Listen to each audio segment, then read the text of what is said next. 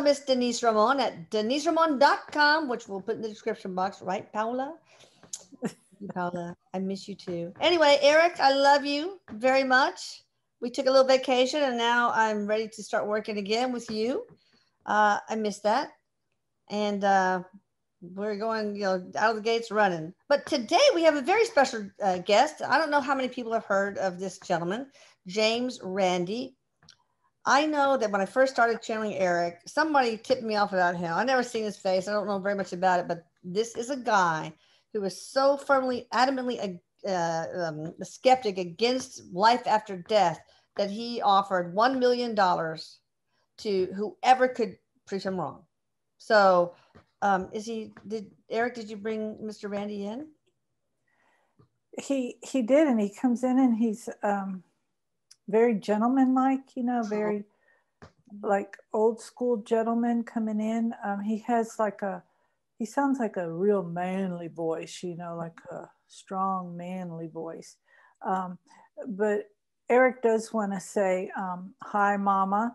Um, I, he was with y'all on vacation. He says um, he always goes with you on vacation. Mm. He wants to say that he loves you and he loved being around the family. Um, and he's he shows me splashing in like a pool type water. Oh, so, a lot of water there. Okay, so he's showing me splashing in there with the feet. I feel like he was aggravating some people there, and he he laughs. But um, so now, so he says he's ready now, and he's Erik is um,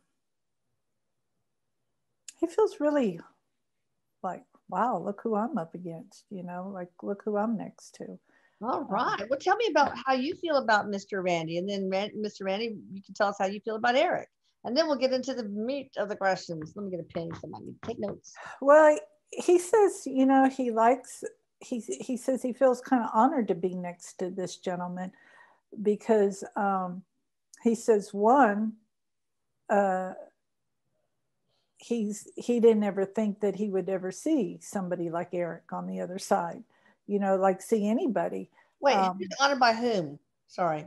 Uh, that James would not have seen Erik because James is thinking that he wouldn't okay. have saw it. So Erik feels like, you know, you get to see me and um, and they get to be in each other's energy. And Erik says, even though he wasn't anti God, but he still had a, a hard time believing and that there was he knew that there was good but he had a hard time believing that good is going to come from certain things because he saw so much oh. um, hmm. um, uh, injustice or whatever um, a lot of uh, erik was a big healer i don't know if that's ever been mentioned but hmm. his heart just really reaps of, of a healer like who he was and um, but erik says he um, this guy here, James, I keep wanting to call him Randi, but James, he has a sense of humor. And. Erik likes that. He's like, you know, they're kind of like joking around, going, hey, bud, you know, doing this and and just kind of joking around with each other. And he likes that. His energy feels um, light, but serious. And I feel like the seriousness is because of where he is with us right now. Okay. Well, let me ask you this, Mr. Randi, if you don't mind you know, you had this $1 million reward for anyone who, who could prove to you that there is consciousness survival after death. Why did you do that to begin with? Why the contest? Um, he, he just seems so strong in his voice. He's, um, he said, because there were so many people always trying to tell him he was wrong or trying to prove he's wrong or trying to he says preach to me and all this other stuff. And um, so he's like okay prove it. And he figured the serious people would be the ones doing it because there's a million dollar price tag so he knew that the person who would be doing this had to be accountable. And he says, not that you know, everyone that participated in that um, that exercise, you know, that said I can do this and that. He says, you know, um, they really believed that, but he just felt like a million dollars would. Um, they really had to have something really. Um, he kind of laughs something solid to prove.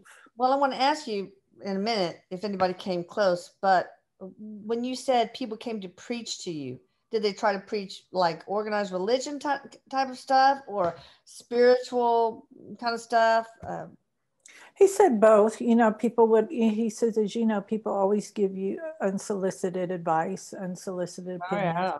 And he got that a lot. Um, he got that a lot. He's showing me through the mail and he's showing me like letters he got and stuff like that. He, he did receive a, a lot of that. Um, because it's he said his he said he was very vocal about how he believed and um, he said that um, it ruffled a lot of people's feathers well what did you believe actually i don't i really don't and denise you you didn't know who he was until i no. said you want to interview him so sorry Mr. that's okay mr randi no sorry to james oh uh he so laughs what, what were your beliefs? You know, he, he says, um, well, he, and he's going, let me answer her question. He's saying his beliefs were that it's up to you to do what it is to create or do whatever it is you want. It's nobody else helping you, it's you. Um, he was he says he's was very big on taking responsibility for yourself. Good. And he says and so many people push it off on other people give whatever or they he says um, as we say now but it's like they give away their power they give away themselves he says to other people and then they take it on and he would see how other people took on others' belief systems. He said, like religion. Yeah. And, and, some of this he's saying, and he's saying, and he, I don't, he says he doesn't give a shit, his words.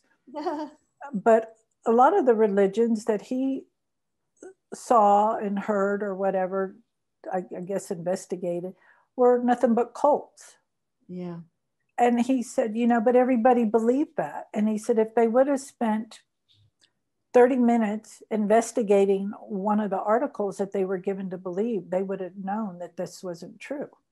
Why do people do that? Why do you think people believe things that they not shouldn't really necessarily believe and would not believe if they investigated it thoroughly? Well, some of you have faith. Well, he said for excuse me, he said for some brainwash. That's his words. Um, he said, and others is because they don't believe in themselves enough to mm-hmm. think, you know, I can uh, tie my shoe, I can push the ball across the street. And I don't know why he's using that analogy. And he says, you know, um, it's about they just don't believe in themselves. So they go believe in what 30 other people or thousands of other people believe because then they belong. Oh, it's a pack mentality. We're all, I guess, we're pack animals. Were you an atheist? He said, yes, in some terms, how what people would say he is, but he said, actually, no, because he believed in himself. Okay. So, like you were God and you're a whole and part of God, that kind of philosophy? Or not? Uh, he didn't use the term God, but he knew he was intelligence. Yeah. Oh. And I'm asking him with, with the way he's saying that, did you believe in other beings from other planets? Hmm. And he had thoughts that there were other beings.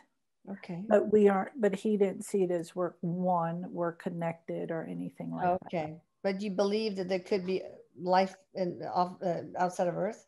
There was a, there was he says yes he believed that there probably was a possibility. Okay. So tell me about your upbringing. Were your parents religious? Were they atheists? I mean, uh, in regards to how you became who you are, tell us about your childhood. Um, he's he's showing me like there was some organized religion in there when he was younger. Um, uh, nothing over the top, but he said it was there. Um, so it must have been a mild, not such a strong okay religion. I feel mild. like the way he, yeah, is such a strong. Um, but he also he says he also saw a lot of deceit in that. Yeah. And so that was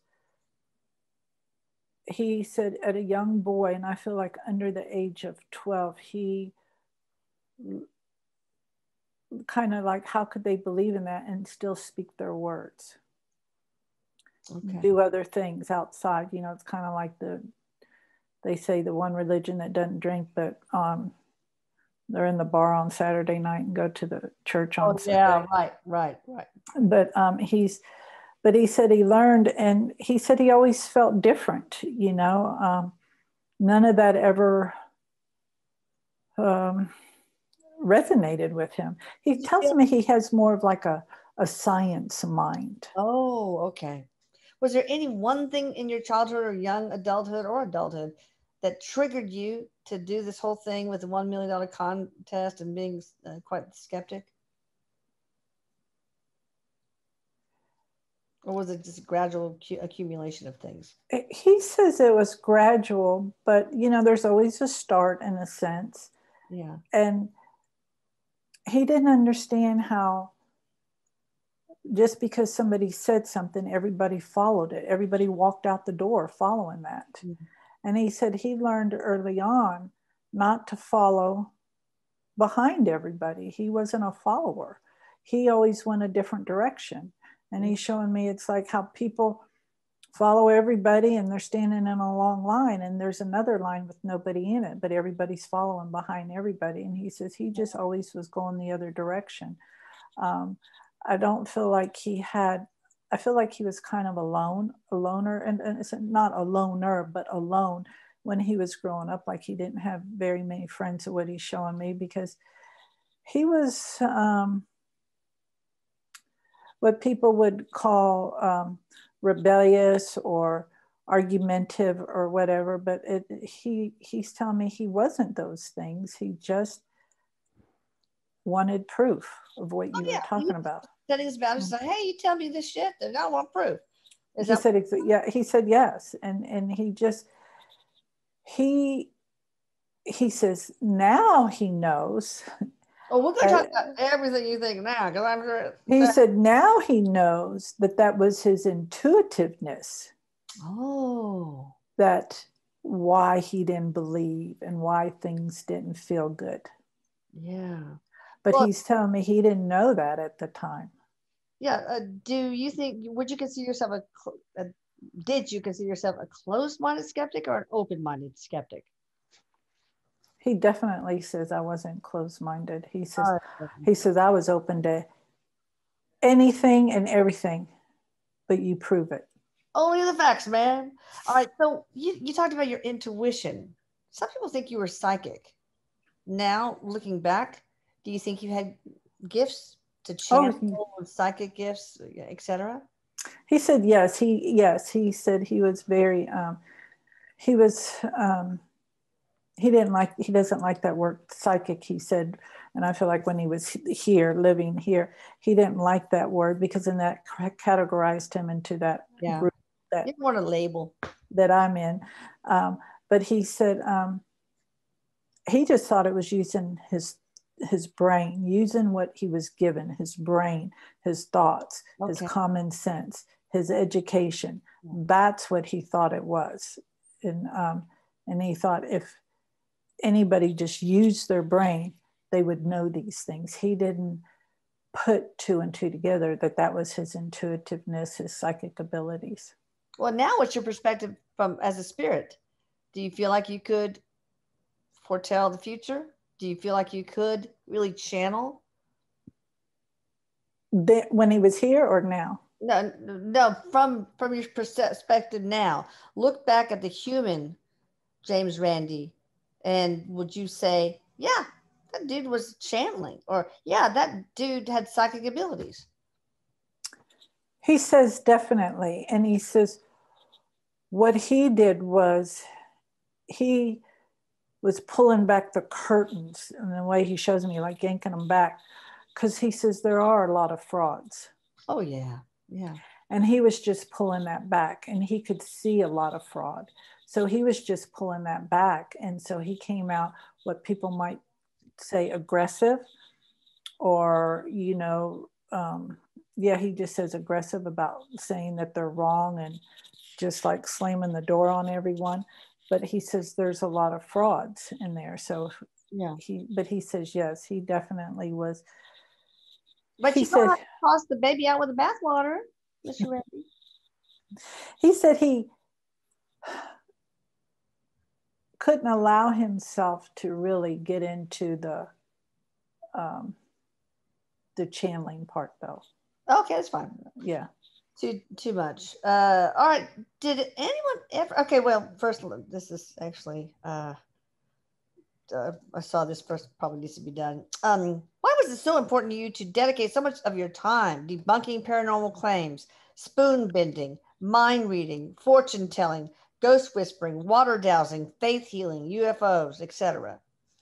Maybe we already answered that, but if you want to add anything. No, he this is good. He said this is good. Um, he says because there's a lot of um, he said there's a lot of fraud out there. And he could see how he says again he could see how people jumped on the bandwagons of those and everybody believed. Mm-hmm. and he says this is how a lot of um, he doesn't want to say a lot but he says how several conspiracy theories get started you know conspiracy stories because people you get enough people wrapped up in that and then poof, it's a true story.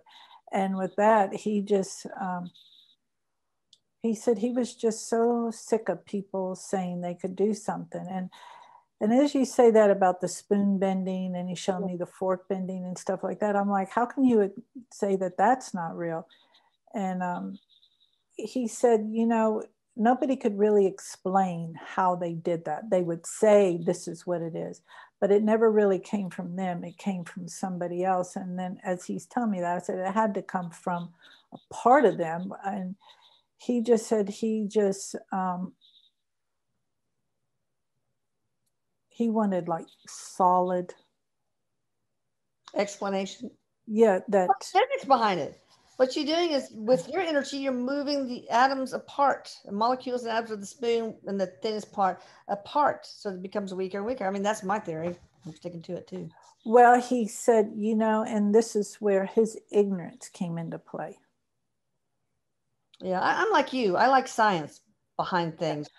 And he says, you know, in hindsight, and he kind of laughs, you know, he did have a lot of ego involved too. Okay because like, oh, of, but do you yeah. think that part of you had a heightened sense of justice to protect those who were being deceived? Did it was was there that part in you in your heart? He i don't know. He says i don't know if it was in my heart but he just saw a lot of he's saying a lot of fraud. A lot of um, people telling lies and saying things, you know, right. manipulating people, mm-hmm. you know, about um, making money off of people and stuff like that. And mm. and he just um, felt like, you know, the show is proof. Show is proof. Had you ever heard of channeling Erik when you were alive and you thought, oh, that evil woman, like some people do? It's okay. Tell me. He, sa- he says, he goes, no, ma'am, I did not hear. Okay. But somebody like me wouldn't go looking and be in that energy. Okay. That. Mm-hmm. Uh, all right. So, uh, was there ever a paranormal event that you could not explain and did it leave you to question, even if a little bit? These are questions from YouTube community.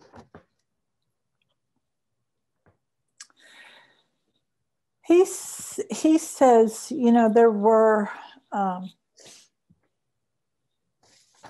several, but I feel like he showing me like there were several big ones and many, many ones, you know.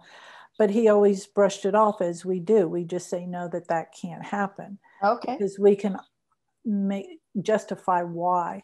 But he's showing me how something flew off his table one time. Ooh. It was like a glass. Um, I don't know if it was a paperweight or an ashtray or something, something heavy. And he and I'm asking him, how did you like write that off? And he just the AC was on really really he, high. Well, he said he wanted the the vibration is what he goes the vibration. Okay. Do you know, Erik? What did what made that thing move off the table? Something dark or something from the light? No, it wasn't anything dark, but um, I do feel like it was. Um, I, I, feel like it was a mother energy. So I guess his mother, it was his that energy to let him know that there was something else on the other side. Because um, even though he played the tough guy, Erik says there's still that fear like, what else is there? Yeah, of course. He it says it's an empty feeling to think, okay, this is it.